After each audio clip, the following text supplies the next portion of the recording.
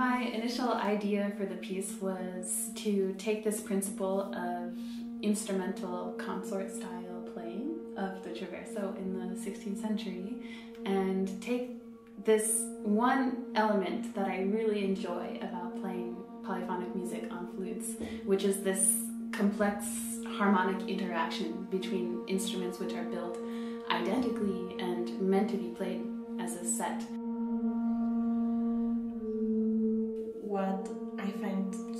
Fascinating in general about the Renaissance flute is that it's in principle such a um, um, don't want to say primitive instrument because in a way it's very sophisticated, but the, the principle, the construction principle is so simple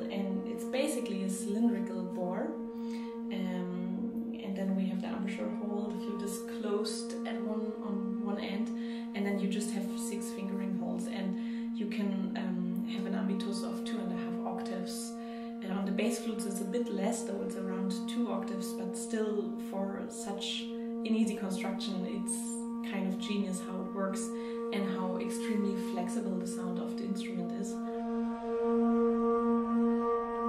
The other aspect that really influenced the composition was the actual construction of the Renaissance flute and specifically the bass Renaissance flute is that it's simple, but at the same time, it leaves you so many possibilities for uh, microtonal fingerings very, very small adjustments to pitch, uh, pitch sliding, things like this. And that's really a, uh, an essential element to what made this piece possible was that uh, we could very, very slowly and subtly change the level of pitch and change um, the interval shape over a long period of time.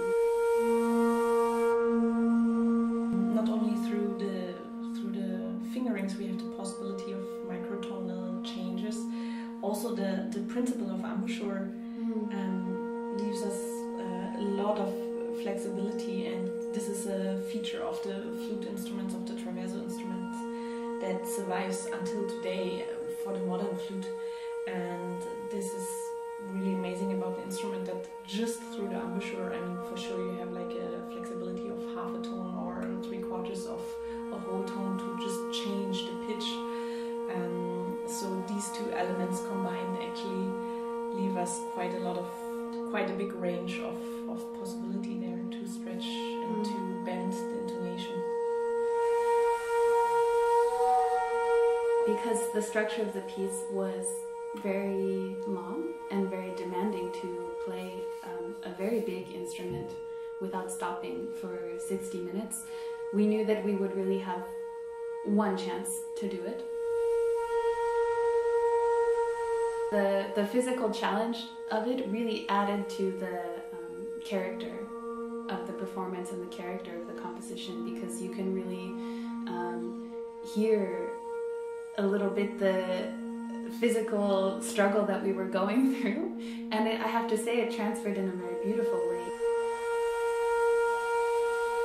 in the end it was I don't know it was almost a cathartic experience somehow because it's like physical exercising or something but at the same time you you create something. You have to to always be aware and super awake of what's happening what the other flutist is doing. So one hand you are really alone with yourself and trying to, to handle the situation. And um, yeah being almost feeling to be confined to to sit with this instrument. And at the same time it's all about the interaction.